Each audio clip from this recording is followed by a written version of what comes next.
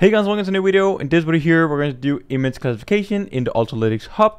We're going to go over the whole pipeline of how we can set up a dataset inside the Ultralytics Hub, how we can choose a model for doing classification with YOLO V5 or YOLO V8 from Ultralytics. Then we're also going to see how we can use the new cool feature where we can do cloud training as well. So we have the whole computer vision project pipeline inside Ultralytics Hub, so you can do anything in there now. No lines of code, you only have to do a few clicks, upload your dataset, train the model directly in there, you can export the model, or you can set up the inference API as well. So this is pretty cool. Let's cover it. Let's just jump straight into it and see how we can do image classification with the Hub. So first of all here, let's just jump straight into the documentation. Let's go over what image classification is, and then we're going to jump into the hub and do everything with just a few clicks.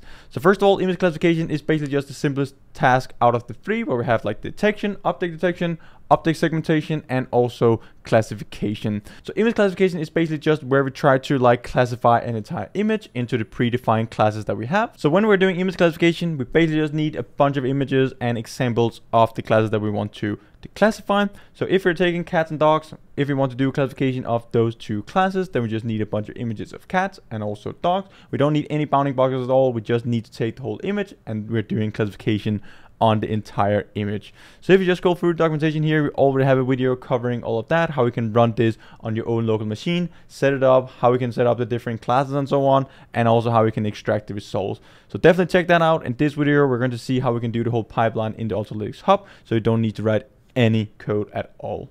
So one of the things here that we should cover if you're going to use your own custom dataset in the Ultralytics Hub is this dataset format. We basically just need to have this YOLO classification dataset format, but it is pretty standard. We can go inside and see the dataset guide. So everything that we need in this classification dataset, we only need our root directory. We need a class one, two, three, depending on the number of classes that you have. So let's say that you have like n classes, you basically need n folders. Inside of each folder, we just need to have our instances and examples that we actually want our model to learn to classify. So let's say that we have class one. Then we just need to have a bunch of different images and examples inside our class one folder because for these images, we want to classify it as class one. If we scroll a bit further down, we can see we actually have an example here where we have airplane, automobile, and also a bird. And then we just have a bunch of images for each individual uh, class. And then we have just have a train, test, and validation folder. So the most important here is that we have a train and validation. We don't need a test, but that is always good to have. So this is everything that we need. We just need to have this folder structure and we're good to go. We can upload our data set into the Ultralytics Hub and I'm going to show you that now.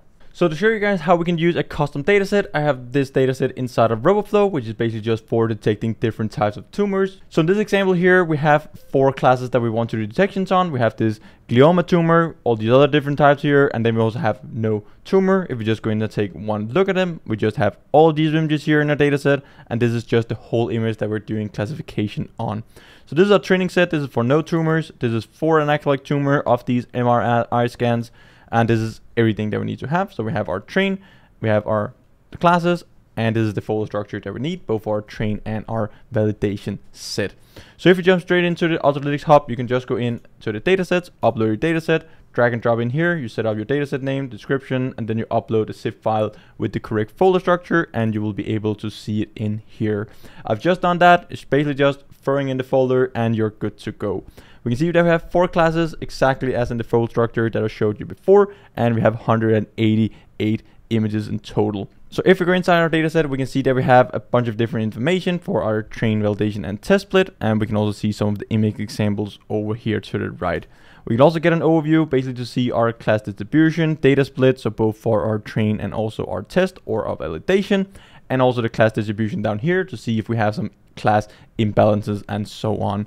This actually looks pretty good. It, it, looks like we have around like 40 instances for most of the classes, except this one here. We have a bit more for that, 50, but that should still be good enough to train our model. So now we have just gotten an overview over our dataset. The only thing that we have to do now is hit train model, and then we don't have to do anything else. Just click a couple more times and we're training a custom classification model with Ultralytics. So here we see project, test, and you can choose any of these models. So we have these YOLO V8 models, the nano, small, medium, large, and extra large. You can get a quick overview over the accuracy and also the speed. So let's just go with a small model. In this example, we hit continue, and now we can set up the training.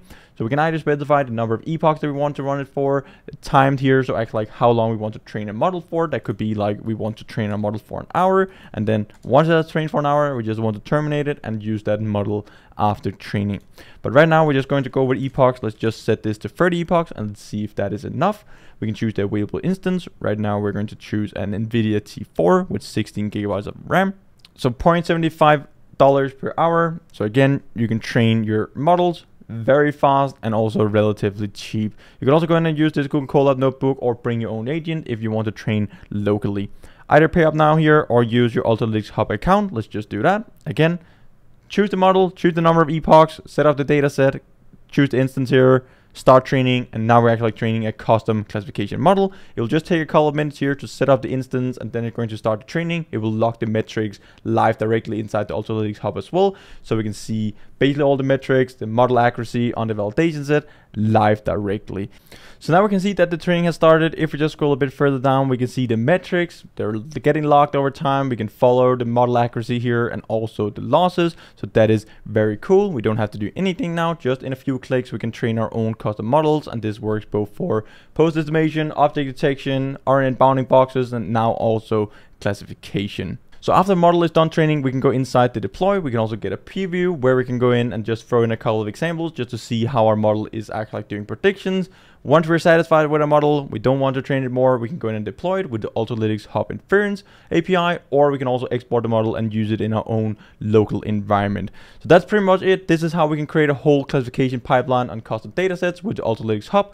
No lines of code, only a few clicks, upload your dataset, and you're good to go. Then you can train your own custom classification models. So I hope you have learned a ton this video here. Definitely go in and check out the Ultralytics Hub and test it out on your own custom datasets. Or else I'll just see you next video guys. Until then, happy training.